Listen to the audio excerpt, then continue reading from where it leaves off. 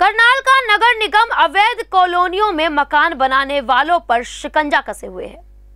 नगर निगम द्वारा समय समय पर अवैध कॉलोनियों में मकान बनाने वालों के साथ अवैध कब्जा करने वालों पर कार्रवाई की जाती है। साथ ही नगर निगम आज कर अतिक्रमण फैलाने वालों पर भी नकेल कसे हुए है। आपको बता दें कि नगर निगम के अधिकारियों द्वारा आज मंगलवार को करनाल के बुढ़ा खेड़ा में बने मकानों पर पीला पंजा चलाया गया। नगर निगम की इस कार्रवाई से वहाँ के लोग गुस्सा भी दिखे। वहाँ के लोगों ने मीडिया को जानकारी देते हुए बताया कि उनको पहले नोटिस भी नहीं दिया गया। बिना नोटिस के ही नगर निगम द्वारा ये कार्रवाई की जा रही है, जो सही नहीं है। उन्होंने कहा कि उनके मकानों पर तोड़फोड़ शुरू कर दी गई है। उन्होंने कहा कि गरीब आदमी बड़ी मुश्किल से पैसा जोड़कर मकान बनाता है, परंतु इस तरह की कार्रवाई से वह पूरी तरह बर्बाद हो जाता है।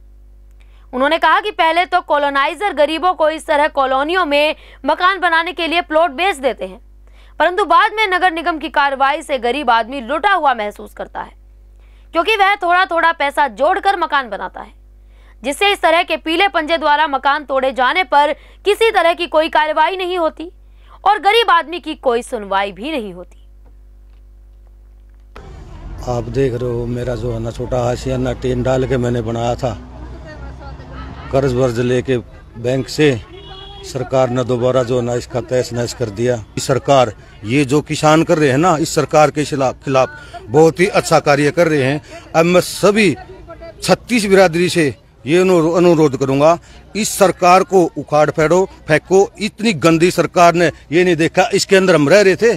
ये आप देख रहे हो, इस आसियानी के अंदर छोटा हमने टीन डाल के बनाया, रह रहे थे, इन्होंने हमारा सामान बाहर काट के, फका के, और जब इसने तोड़ा है। वजह क्या बताइए वजह कुछ नहीं। आते ही सिर्फ़ मेरा टारगेट मेरे मकान का मकान और भी आप चारों तरफ़ देख रहे हो बने हुए हैं। सिर्फ़ इस पर आते हैं भैया ये नक्शा पास करवाओ ये करो वो करो। अरे गरीब आदमी के पास ना कोई नोटिस दे रखा। नहीं नहीं टारगेट क्यों बना रहे हैं आपको बताइए ही समझ में नहीं यार कौन मेरे को टारगेट बना रहा। अकेला मेरा ही मकान टूटता है पूरी कॉलोनी में। ये दोबारा मेरे साथ ऐसा हुआ है। अब मैं मेरी बीवी भी और मेरी माता जी वो पड़ी है। मैं अब जो है आज सहन नहीं कर पाऊँगा दोबारा। ठीक है मैं अपने दोनों तीनों बच्चों लेकर अपने आप को आत्महत्या कर लूँगा। आज ये प्रशासन से स्पष्ट कर रहा हूँ नहीं कुछ बताया उन्होंने कि क्यों कुछ नहीं हमारे पास ना कोई नोटिस है ना कुछ हमने पता ही नहीं। ना, ना पहले नोटिस ना पहले की बार नोटिस है। ना कोई अब नोटिस है।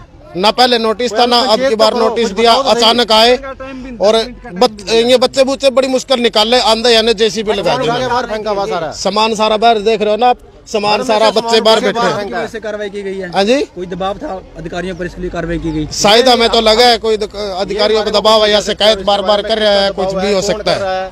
और क्यों कर रहा है? ये पता नहीं हमने क्यों कर रहा है किस वजह से कर वजह रहा पता हमारे को। वजह तो पता लगे ना भाई ये भाई ये हमारे पास ये वजह है। और आपने ये हिसाब से बनाया या को नोटिस तो दो हमारे को बताओ तो सही हमारे को। सामान सारा पड़ा है वो सारा उठा के बाहर फेंक दिया क्या मतलब घर में सामान फेंक रहे हैं? नहीं कॉलोनी पूरी अवैध है या फिर आपके घर अवैध था?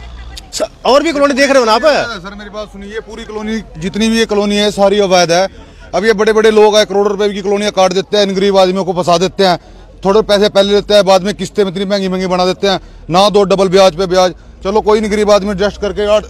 छोटा मजदूर है लोहे का काम करता है, इतनी इसके आमदनी तो है नहीं। बाहर से आके बसा हुआ है, चलो थोड़ा घर बढ़ा लूँ, कल बच्चों की शादी करनी है। परिवार है, चलो, रह लेगा। इन्हें तो- अगर जो इस पे पैसे होते लेंटर नहीं ऐसे ही लेटेस्ट खबरें पाने के लिए बेल आइकन को क्लिक कर हमारे चैनल को लाइक शेयर एंड सब्सक्राइब करें धन्यवाद banquets lie हैं incredible marriage palace Rajgharana and the finest banquet hall Jyoti Garden. World class catering, centrally air conditioned, lush green lawns, state of the art lighting. A perfect venue for wedding, launching and parties. Rajgharana and Jyoti Garden at JBD Banquets Enterprise.